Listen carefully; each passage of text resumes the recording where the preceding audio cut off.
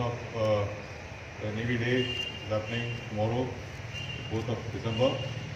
It's a very memorable day for the Navy, highlighting the exploits of our, of a service uh, on the during the 1971 war, the action by the Navy that led to the decisive victory of the nation. So, uh, a warm welcome to all of you for this uh, press conference. Uh, I intend to take a look at the year that has gone by. It's exactly a year plus a few days uh, since I taken over as the Chief of Naval Staff, and uh, I, I'll try and portray some of the key aspects that have uh, been undertaken for the last one year. Uh, operationally, we have had a very uh, intense, very uh, engaging uh, time over the last one year. Our ships, submarines, aircraft have been deployed extensively and uh, they have contributed substantially to maintaining maritime security in the Indian Ocean region. A very high uh, operational tempo was, uh, was achieved over the last one year and uh, we have followed the uh, mission-based deployments whereby the ships were being deployed at various uh, strategic locations in the ocean uh, so that they are forward-based and ready to respond to any challenges. So this uh, extensive operational deployment has helped us in, uh, in many ways. It has helped us to hone our skills, helped us in, uh, in improving and refining our procedures and processes, and in a, in a sense to keep the sword sharp. Our personnel trained hard, uh, worked very diligently, and uh, performed magnificently both uh, uh, on the uh, surface, under the sea, as well as in the in the air, over the ocean. Uh, the uh, the Navy is followed the motto of uh, being a combat-ready, credible, cohesive, and future-proof force, uh, which has been uh, focused through the approach called the ships first approach. Now, in this, we have focused on our operational assets, be it a ship, submarine, or aircraft, uh, so that the people who man them, that is the men and women who man these operational units, are given uh, total support from all the shore organizations, from their quarters, etc., so that they can do their job well, because they are the people who are at the uh, at the uh, the field and at the cutting edge of the service, and therefore they need to be supported. And this singular aim has been focused in all our efforts, so that when required to go in harm's way, they are fully prepared to uh, to do so. Uh, while the past year has been operationally busy and uh, very satisfying in many ways, it has also been transformational in a number of uh, aspects. I'll just highlight a few aspects while the rest of it will get covered in the uh, subsequent presentation. Uh, the most notable uh, aspect of this transformation, I would say, was the commissioning of Vikrant. Uh, you remember this on the 2nd of September, which, uh, Vikrant, the first indigenous aircraft carrier, uh, was commissioned at Kochi by our Honorable Prime Minister. So this has been a landmark event and this signifies the, uh, the persistent efforts of generations of naval leadership, our designers, our planners, the uh, shipyard workers, industry, and a whole lot of other, you know, supporting uh, agencies and uh, you know, uh, personnel. And uh, I would say that this commissioning of Vikrant is a, is a landmark event for the nation as well as the Navy, and it's indeed a torchbearer of Atmanirbharta. Uh, there are very few countries uh, who have the capability to make an aircraft carrier, and we now form uh, one of the that elite or select band. It inspires confidence in self-confidence amongst us, and uh, I would say it is a shining symbol of uh, our indigenous indigenous capability. Uh, it has contributed to enhancing the stature of the of the nation in the world, and we've been uh, getting congratulatory messages from many of the uh, countries as well as the navies, and I'm sure Vikrant will proudly fly the Tiranga across the uh, wide reaches of the Indo-Pacific in the years to come. While the commissioning of Vikrant had happened, uh, another important event uh, took place uh, on the same day, the same dais, which was the uh, unveiling of the new naval ensign. Now, this was in line with the, uh, the government policy of doing away or shedding the, uh, the vestiges of uh, colonial uh, symbols and practices. So we were we have unveiled the new naval ensign. In fact, the new design was uh, by one of our own uh, sailors from a ship, uh, which was uh, worked upon, improved, and then promulgated. So this decision to change the ensign was brought in in a very swift and decisive manner without any delay, and it reflects the agility and the uh, responsiveness of the Indian Navy as an organization. Uh, while talking of this, uh, of this Tiranga, I also want to uh, bring home this point that on the 15th of August uh, this year, we had uh, seven ships uh, hoisting the Tiranga at, uh, at ports in six continents, which is no mean feat. And uh, this aspect actually reflects the reach, uh, flexibility, and sustainability of the uh, naval assets uh, over the uh, area areas of interest. Uh, talking of uh, Atmanirbharta, you know, there has been great focus to uh, to deploy our capital in a in a judicious manner, so that we develop the capabilities that is uh, that is uh, essential uh, for us.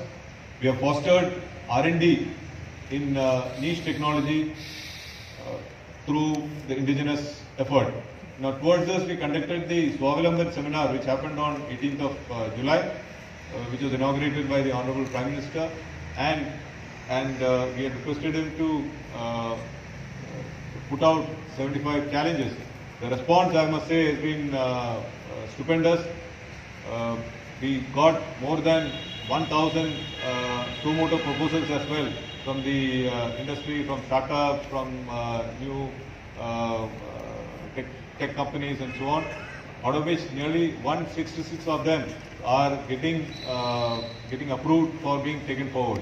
So very hopeful that this uh, seminar uh, has will result in the induction of of some cutting edge technology in various aspects in the next year or so.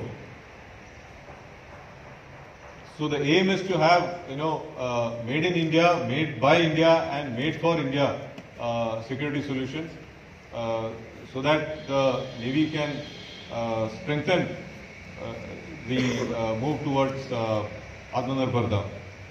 As regards the optimization of the budget, we are driving self-reliance and development of indigenous technology. This year, our Navy's share of the budget was 17.8 percent, which we feel is uh, quite uh, adequate. And uh, more importantly, in expending this budget, we've been able to manage it quite well in the sense that the revenue to capital ratio has been maintained at about uh, 32% revenue to 68% uh, uh, capital, which is quite good by any standards. So, what, how does it help us? It helps us in ensuring that we have adequate funding for our capital projects. Uh, this gives us uh, tremendous amount of flexibility in uh, in looking at new cases and you know taking forward uh, new capability development plans. Another transformational aspect that I want to highlight here is the Agnipath uh, scheme. Now the Agnipath scheme has uh, has taken shape, has been implemented, and we are looking at complete transformation of the of the manpower, uh, especially in the uh, ranks. Women officers for about uh, last, I would say, uh, 16, 17 years. But this is the first time that we are inducting women sailors. So this is a landmark event for us. And uh, similarly, uh, to uh, I would say to complement the presence of women officers on board, now we'll have these women sailors.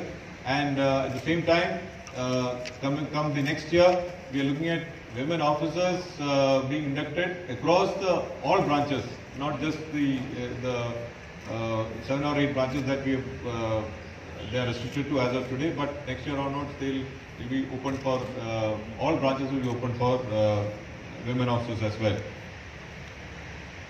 So the Navy, in short, has been constantly trying to make uh, uh, changes, uh, challenging the status quo, and always querying old practices to see how we can be more agile and change with the requirements of the of the time. The Honorable President is uh, traditionally hosted for Navy Day at uh, the Navy House here in Delhi. Uh, but this time, in consonance with the, the government directives, we have uh, shifted out the uh, main Navy Day celebrations to Vizag. Uh, the Honorable President has kindly consented to be the uh, chief guest. So we are having an operational demonstration there and uh, all the other events uh, connected with the reception, everything will be held at Vizag. We hope uh, you know many of you will be able to participate in it at Vizag. Uh, so this is again a reflection of the Navy's uh, ability to adapt and our commitment to adopting change. So in short, a lot has happened in the last uh, one year. I only touched, briefly touched upon a few of those aspects. Uh, details will be covered in the, uh, the presentation uh, shortly. And uh, once the presentation is over, I will provide my, my views on a few more of the issues. Uh, and that will be followed by a question and answer session. Uh, thank you. Thank you, sir. This Is the, the motto that we inspire our personnel to keep in mind at all times in whatever activity they engage in. The recent global events, they amply underscore that uh, we cannot remain dependent on others for our own security requirements. The events in uh, the uh, Russia-Ukraine war have demonstrated this aspect. Therefore, the government has given us very clear guidelines on Atmanirbhar Bharat and towards that, uh, one of the commitments that the Navy has made to the uh, top leadership is that we will become uh, Atmanirbhar Navy by 2047 and all our efforts are being focused in this direction. Uh, the rapid pace of advancements in technology, uh, there is need for us to not only catch up with the developments but also to uh, to go ahead of the curve and towards that we have to adopt uh, a pole vaulting approach and uh, this is being pursued with uh, great passion and we are trying to adopt niche and disruptive technologies.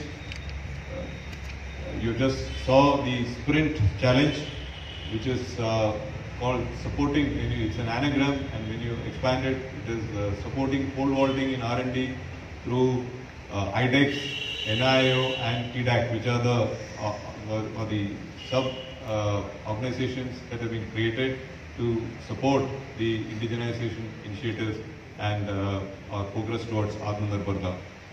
So uh, we hope to seamlessly meld the various aspects of innovation, indigenization and self-reliance into, uh, into uh, getting the requisite technology as well as the capability that the Navy wants to be a future-proof force. In terms of uh, physical resources, uh, we are well aware that uh, you know it is not possible to get uh, all the resources that you require to all the imaginable challenges that you can face. And uh, uh, being an aspirational nation, we know that the budget has to be balanced against the requirements of uh, development, against the requirements of social commitments, against the requirements of other uh, infrastructure requirements and so on. So our focus in the Navy is to uh, ensure that every rupee uh, that is given to us is utilized to the help to ensure that it translates into capability development and combat readiness.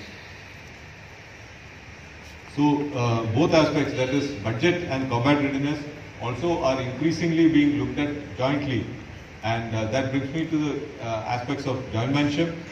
Uh, as a Navy, we are convinced that the way forward is through jointness, and the Navy is fully committed to jointmanship, jointness, and uh, uh, integration, and in a cohesive manner, looking at how to optimize resources. The late General Bipin Rawat had laid the foundations for uh, increased synergy between the three services, and the present CDS, uh, General Anil Chauhan, has also provide, pro- provided renewed impetus towards the same. Uh, we are working upon uh, ensuring that we achieve greater jointness, cohesion, and subsequent integration in the way we plan and the way we uh, operate. Uh, a lot of uh, work is happening in the uh, in the aspect of uh, of developing the theatre command. The discussions are underway. The Navy is also uh, instituted a, a trophy each at the uh, at the Sailors Training Establishment at Chilka for the best uh, women Agniveer uh, in the name of uh, late General Rawat. And uh, similarly, a trophy has been issued in the name of of uh, General Rawat at uh, the Naval War College uh, as well. So this just want we just want to highlight that one of the aspects of uh, of jointness that we wanted to inculcate the spirit of jointness amongst our, men as well as the officers. Uh, as far as the uh, inspiring initiatives are concerned, uh, we have taken to heart the Panch Pran by the uh, Honorable Prime Minister and we are working on it to ensure that we live up to all five of them, particularly the one on Gulami ki Mansikta se Mukti. In, in this uh, regard, we are reviewing all our rules, regulations, you know, processes, SOPs, our traditions, etc., to ensure that we uh, wean away completely from the uh, colonial uh, vestiges and uh, ancient practices which have got no relevance in today's uh, context. Uh, there is also increasing recognition of the importance of, and the vast potential which is resident in the oceans around us. Uh, particularly the blue economy. Uh, currently, uh, we are harnessing it at about 4% of the GDP, and there is definitely room for you know improving it and harnessing much more from the oceans. Uh, similarly, the our dependence on the trade and energy lines and the scope for enhanced maritime uh, connectivity as well. Uh, so there is greater emphasis and acknowledgement of the criticality of maritime security. Uh, if you remember, the Honorable Prime Minister had chaired a meeting on maritime security when India was at the uh, chair of the UN Security Council uh, in uh, uh, recently. And as uh, India grows, the maritime interest and the investments will also expand proportionately. So, this will automatically translate into expansion of the uh, of the tasking of the navy and our responsibilities as well as the operational footprint will need to increase uh, in a commen- commensurate manner to ensure that we meet the uh, requirements of the nation of, uh, of protecting, uh, preserving and promoting the national interest in the maritime domain. So our endeavor, uh, therefore, in the region is to be a, uh preferred security partner and also to be the first responder in, in case of any crisis, which is supported by, which is facilitated by our mission-based deployment. And uh, therefore, the Navy will continue to be guided by SAGAR, uh, the doctrine of SAGAR by uh, Honorable uh, Prime Minister, which is uh, security and growth for all in the region. And as uh, uh, as our Honorable EM had said, you know, India uh, does not intend to grow separately. You know, we intend to grow together with all the other countries in the region. And uh, therefore, building bonds of friendship and uh, operational cohesion with like-minded nations across uh, the Indo-Pacific is something we are focused on. And uh, in every uh, operational endeavor and interaction that we undertake, we, we are very clear that we need to interact and uh, build trust and cooperation as well as coordination with the like-minded countries in the region. Uh, so these are some of the lines of effort that the Navy is committed to follow so that uh, we will remain a combat ready, uh, credible, cohesive and future-proof force.